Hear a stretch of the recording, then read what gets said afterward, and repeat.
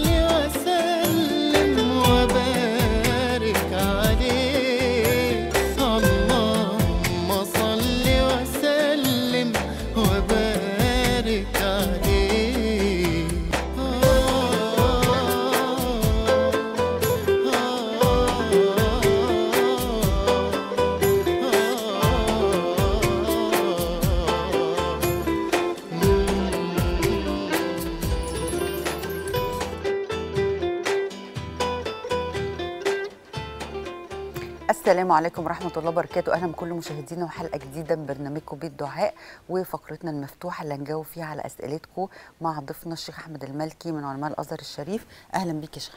الله يخليك يا رب يحفظك ويكرمك ويسترك يا رب. يا رب. الستر والصحة لينا جميعا. معانا تليفون نبدأ بأول تليفون. عبير أهلا وسهلا. أهلا بيكي يا أستاذة دعاء. أهلا يا حبيبتي اتفضلي. عاملة إيه يا حبيبتي؟ الحمد لله. إزاي حضرتك؟ أنا الحمد لا. لله كويسة والشيخ لا. تمام اتفضلي لو سؤالك سمحت الشيخ أحمد فين ممكن أسأله اتفضلي؟ اتفضلي يا فندم إزيك. يا شيخ أحمد عامل الحمد إيه؟ لله بخير والله الحمد لله يا رب دايما أنا عندي سؤالين يعني أنا أمرك. أول سؤال آه، في حد قريبي بيسألني على واحدة عايز ارتبط بيها واحدة إيه حد عايزة قريبك إيه أرتبط بيها واحد قريبي بيسألني على واحدة عايز يرتبط بيها يعني بيقول لي شهادة يعني أخلاقها وكده أقول له. إيه تقولي له إيه آه هي أخلاقها إيه؟ يعني أنا يعني أنا مش عارف يعني هي كاخلاقها بع- يعني قال لي كتير ما شكرش فيها بس أنا هاخد الكلمة منك انت أنا مش عارفة أقول له كويسه أنا ما اتعاملتش معاها خالص يا أستاذ خلاص تقولي له تقولي له أنا ما أعرفهاش. تمام. ادام ما حصلش فيه تعامل ما بينك وما بينها آه. فالأصل لأني عشان أشهد على غيري لابد أن يكون في تعامل حصل فيه تعامل. أعرف هو إنسان كذاب هو إنسان أمين هل هو بيصلي هل هو يعرف ربنا ما حصلش أنا التعامل ده وبالتالي أنا لا أعرفه. يعني انت ما حرام عليه لما أقول كده يعني. لا أنت ما هو أنت اتعاملتي معاها؟ لا يا شيخ ما اتعاملتش طيب يبقى أنت ده مش حرام. يبقى ده أنت بتشهدي بحق تمام. اللي هو إيه أنا ما أعرفهاش فعلا. أنا ما أعرفهاش. آه ممكن أشوفها ممكن أتكلمت معاها مرة أو حاجة. لكن كتعامل أنا ما أعرفهاش خالص. وبالتالي آه، سل عنها غيري. يعني قولوا له روح اسأل حد تاني لأني أنا ما أعرفهاش. لما نيجي نشهد على حد أو نقول والله أنت تعرف فلان أعرفه إزاي من خلال المعاملة؟ من. خلال المعاشرة من خلال ال- اللي في الاختلاط ما بيننا في علاقات متواصلة. فأعرف بقى هو الراجل ده أمين؟ هل هو الراجل ده صادق؟ هل هو بيصلي؟ هل هو يعرف ربنا؟ هل الراجل يعني أخلاقه عاملة إزاي؟ أنا من خ... هو أمين ولا مش أمين؟ الكلام ده من خلال المعاشرة. أدام ما فيش معاشرة وما فيش اختلاط ما بيني وما بين الإنسان ده بالتالي أنا ما أعرفوش وما ينفعش اللي أنا اشهد أقول لا أنا ما أعرفش اسألوا عنها حد غيري. بس. طيب معانا دعاء. أهلا وسهلا. ازيك يا دعاء عاملة إيه؟ ازيك يا حبيبتي عاملة إيه؟ ربنا يخليك يا رب. أنا بحب حضرتك قوي. ربنا يكرمك يا حبيبة قلبي. اتفضلي. هو أنا بس كان عندي سؤالين للشيخ أحمد. اتفضلي يا فندم. أول سؤال هو حضرتك أنا أنا يعني أنا معايا ابني آه، لسه صغير يعني خمس ست شهور بالكتير. بصحى بيه كتير بالليل فبنام فبصحى الساعة 10 11 الصبح فبقعد أصلي. فببقى مش عارفة أصلي ولا لأ الوقت كده راح وقت الصبح. حاضر. ده السؤال الأولاني. السؤال الثاني السؤال الثاني هو أنا حضرتك يعني أنا تعبانة شوية وكده و... وأنا وسلفتي اتخانقنا شوية في إحنا في بيت عيلة. فقعدت تقول لي انت ما نسيتيش ليه عملتي الأكل النهارده؟ وانت كنت شايفة حماتك النهارده في عندنا ضيوف. قلت لها أنا تعبانة والمضاد الحيوي تعبني ومش قادرة أقوم. انت ما قمتيش ليه مكاني؟ قالت لي أنا كنت بتغدى مش فاضية. فأنا اتضايقت واتعصبت وعيطت. فحماتي قالت لي ما تزعليش دي حاجة زي بعضه فالموضوع ضايقني إن هي قعدت تزعق فيا. فأنا خصمتها الصراحة. وخصمتها عشان قد إيه؟ نعم؟ قد إيه؟ بالك قد إيه مخصماها؟ بتقولي شيء مخصماها بقالك وقت قد إيه متخاصمين؟ لا يعني زي كده 10 أيام ولا حاجة. مم. 15 يوم. حاضر حاضر. بالكتير فأنا عدت لها. فأنا دلوقتي حضرتك مش عارفة وأنا دلوقتي داخلة على عمليه فأنا مش عارفة عدت لها كذا موقف. عايزة اصالحها فجاه بتقول لي لا كرامتك. مين اللي بيقول لك كرامتك؟ أنا أنا بقول لنفسي أنا كرامتك. كرامتك أنا هرد فين؟ عليك هرد على حضرتك حاضر. وعايزاك تدعي لي بالله عليك يا شيخ كل اللي يسمعك. حاضر يا فندم. ربنا يشفيك ويعافيك يا رب. نسأل الله عز وجل أن يكتب لك الأجر والعافية وأن يشفي كل مريض. اللهم آمين. آه بالنسبة للسؤال الأولاني الأصل يا أخوانا في الصلاة خلينا إحنا نتكلم على الحكم ثم بعد ذلك نعرج على الفتوى. الحكم أن الأصل الصلاة لوقتها أو على وقتها. إن الصلاة كانت على المؤمنين كتابا موقوتا. يعني الله رب العالمين وقت للص... للصلوات مواقيت. ما ينفعش للإنسان أن يتجاوزها إلا بعذر إلا لضرورة. وجبريل عليه السلام لما نزل على النبي صلى الله عليه وسلم وصلى بالنبي صلى الله عليه وآله وسلم مرتين فقال بين هذين وقت. سيدنا جبريل بيقول للنبي يعني وقت الظهر أوله وآخره. ما بين ده وده ده وقت الظهر. ما ينفعش اللي إحنا نتجاوز. نخرج من بره خارج الدايرة بتاع الظهر دي فنصلي الظهر في وقت العصر. الا الا إلا لضرورة إلا لعذر. زي إيه يا اخوانا زي مثلا المرأة اللي هي آه، عليها ال- العذر الشهري. حاضت ثم آه، حصل الطهر بعد صلاة ال- الظهر أو بعد صلاة العصر بعد صلاة العصر. فيبقى عليها إيه؟ عليها ظهر وعصر. بعد صلاة العصر فعليها ظهر وعصر لأن لما حصل الطهر ده حصل في الوقت الضروري. إحنا الوقت وقتان وقت اختياري وقت ضروري فعليها الظهر والعصر. طيب آه، مغرب وعشاء حصل الطهر ده بعد صلاة العشاء بنص ساعة ولا بعد أذان العشاء مباشرة فعليها الضوء مغرب وعشاء وهكذا يعني. أو عذر تاني زي إنسان نايم. نايم يعني إيه؟ هو مش مفرط. يعني هو نام قبل صلاة الظهر مثلا وكان تعبان جدا فاستيقظ بعد صلاة العصر. هو حاول قدر الإمكان إن هو يقوم ومجهز حاله وبتاع و- والمنبه. ما قدرش هو تعبان مش قادر. فنعمل إيه؟ هل نعاقبه؟ هل نقول له أنت آثم؟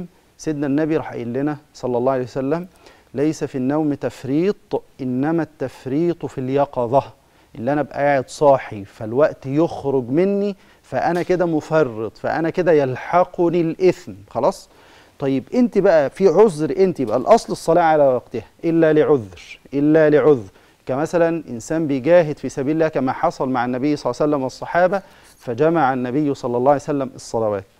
طيب أو نوم زي ما حصل لسيدنا النبي برضه. قال كما في صحيح مسلم اكلأ علينا الليل يا بلال احفظ علينا الليل أنت المنبه بتاعنا. فسيدنا النبي نام وسيدنا بلال نام واللي صح النبي والصحابة الشمس حرارة الشمس يعني الشمس طلعت. فنعمل إيه؟ النبي قال يلا نقوم من المكان ده ونروح مكان تاني وبعدين صلى النبي صلى الله عليه وسلم بهم جماعة. أنت في الحالة بتاعتك دي بتحاولي قدر الإمكان إن أنت تقومي تظبطي الدنيا ما قدرتيش بتنامي مع الواد وتصحي مع الولد يبقى ليس في النوم تفريط إنما التفريط في اليقظة. أول ما تصحي تصلي نسأل الله أن يتقبل يا رب العالمين. معانا آه، أمل أهلا وسهلا. السلام عليكم. عليكم السلام اتفضلي. ازيك يا أستاذ عاملة إيه؟ ازيك يا حبيبتي؟ أهلا بيكي. ازيك يا شيخه الحمد لله بخير والله. حضرتك. الحمد لله.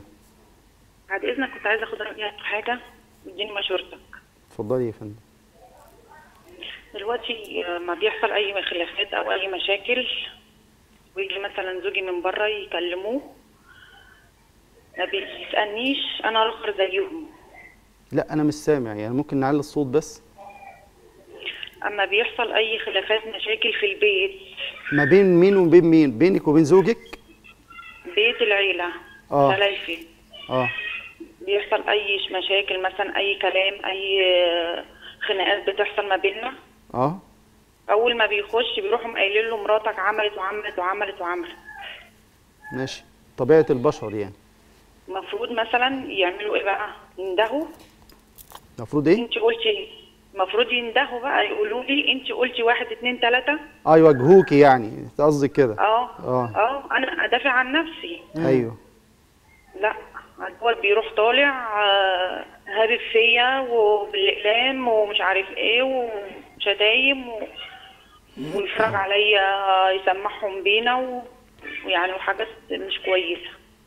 ماشي وانت بيبقى رد فعلك إيه؟ أنا ببقى مستغربة يعني هما إزاي كل واحد بياخد حق مراته وانت إزاي ليه بتعاملني كده؟ أيوه مستغربة جوه نفسك ولا بتقولي يعني بتعبري بتقولي إيه؟ بتقولي له إزاي تعمل كده إزاي أنت غلطان إزاي واجهني معاهم؟ يعني الكلام ده يعني بتقوليه ولا بتسكتي؟ لا بقول له المفروض إن أنت مثلا أنت شايف أخوك أهوت يعني وقف لمراته وشوف عمل لها إيه. مم. أنت ليه ما بتعملش زيهم كده؟ ليه أنت بتيجي على طول بتيجي آه. قدامهم ليه بتبهدلني؟ ليه على طول ماسك لي مثلا ما بيحصل ما بيننا وما بين مشاكل تروح ماسك لي حاجتي برميها لي بره على السلم ويلا بالسلامه ومش عايزك. وعلى. طول حلفان الطلاق الطلاق ده على لسانه. طيب بيرد عليكي يقول لك إيه؟ ما هو أنا بلاقيه بني آدم تاني كأني ما أعرفوش كأني مش دي اللي أنا عايشة معاه. يعني هو لما حد بيقومه بيتنرفز وبيبقى كأنه واحد تاني وبعدين يرجع يبقى طبيعي. وكأني آه يرجع بقى مثلا لو جيتي فتحتيه مثلا وتقولوا لي أنت عملت كده يقول لي ما تفتحنيش في أي حاجة حصلت خلاص اللي حصل حصل وعدى. مفيش حاجة اسمها كده طبعا. طب أنا أروح أتكلم مع مين؟ طبعا ما حدش خالص بيتكلم معاه ما حدش خالص بيقدر عليه. طبعا هو بقى قاعد لي من الشغل ما فيش مش عارف إيه. طبعا أبني آه، ما- عندي ولد ربنا يهديهولي يا رب. يا رب. فالمهم بيشتغل فطبعا فلوس شغله أنا قلت ما أحافظ له عليها وأعملها له زي جمعية كده واحطها له مثلا باسمه في البنك. هل مثلا يعني اللي أنا بعمله ده غلط أو صح؟ إيه إيه دلوقتي أنت يعني- سؤالك إيه؟ سؤالك على موضوع فلوس ابنك ولا سؤالك على إيه؟ أنا أنا كلمت أول حاجة موضوع اللي حصل ما بينه وما بين المشكلة اللي في البيت. أيوه المشكلة اللي في البيت دي. المشكلة اللي في البيت دي انت بتدخ... ما دخلتيش أهلك ما دخلتيش حد كبير. انت منك ليه هو بس كده. ما هو أب- أهلي قالوا لي لو جيتي خد... لو جينا خدناكي هنخ... هنخلصك. طبعا أنا عندي ولادي كبار مش صغيرين. أنا بقالي 18 سنة متجوزة. آه تمام. طبعا ولادي كبار مش صغيرين. ماشي. هينفع إن أنا أسيبهم وأمشي. تمام. يبقى يعني ده سؤالك الأولاني تتعاملي إزاي مع جوزك عشان يبطل الطبع ده؟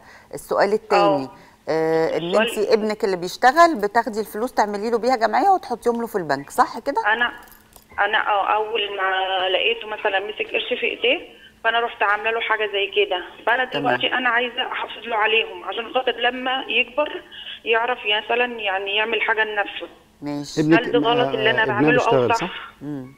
طب وانت عاملة ده باسم مين؟ باسم ابنك؟ الجمعيه باسم ابني وبعدين هو هيحط الفلوس في البنك باسمه صح؟ أنا هحطها له اب اسمه هو باسم ابني. أيوه تمام. ماشي عشان لما يكبر مثلا عشان هو ولا مثلا أبوه عامل له حاجة ولا محتاجة. إحنا قاعدين آه، آه. في شقة بيت عيلة. ما فيش مكان لابني يقعد فيه ما فيش أي حاجة خالص. كل ما أكلمه يقول لي هو لما يكبر يعتمد على نفسه إحنا اعتمدنا على نفسنا. طبعا يعني الدنيا زي ما أنت شايف حضرتك غلا. وكده فما فيش. ماشي يا حبيبة قلبي. خلاص طيب، سؤالين كده يا أمل إحنا كده فهمنا السؤالين عندك سؤال تاني؟ بس هو حضرتك يعني طبعا عمايله اللي هو بيعملها زعلاني منه. جوزك؟ آه ماشي.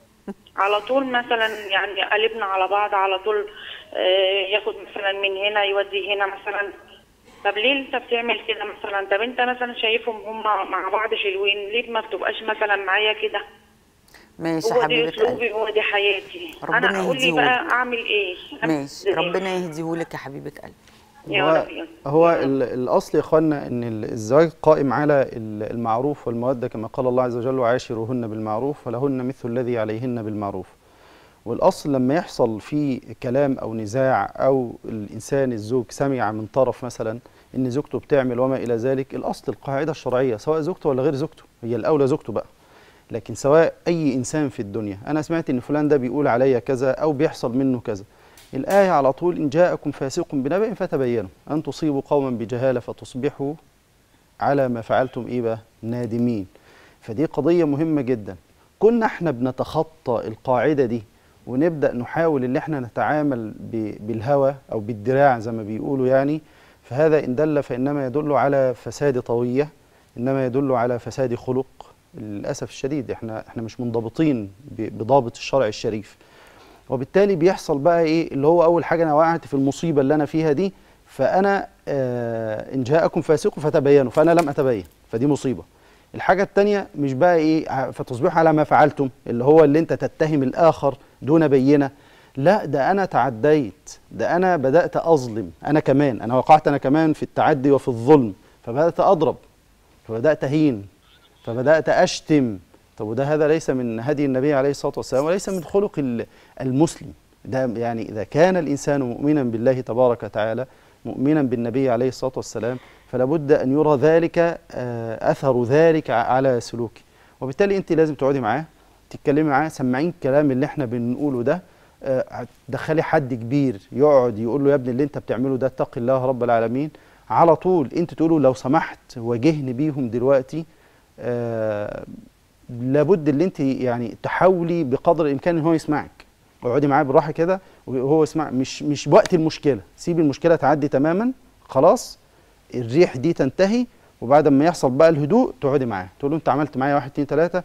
ممكن بعد إذنك تتبين ممكن بعد إذنك تتثبت. يبقى لابد من هذا الحوار بينك وبين الزوج. الحاجة التانيه ابنك بقى بيشتغل ربنا يبارك في أولادكم يا رب. وأنا دايما اوصي بالصلاه صلوا. صلوا عشان يبقى فيه بركة. وربنا يطرح البركة فيكم وفي أهل بيتكم وربنا يبارك في أرزاقكم يا رب. ال- الولد بيشتغل والولد صغير. طب أنا عاوزه أحوش له قرش. كل الناس بتعمل الكلام ده. كل أم بتعمل الكلام ده. أي أب بيعمل كده مع أولاده.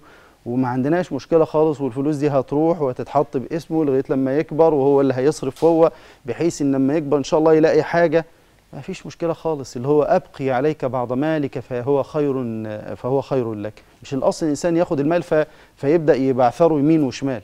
لا حافظ على جزء من المال تستند عليه وقت الضائقة ووقت الحاجة. ما فيش مشكلة إن شاء الله. هنطلع فاصل ونرجع نكمل حلقتنا. خليكم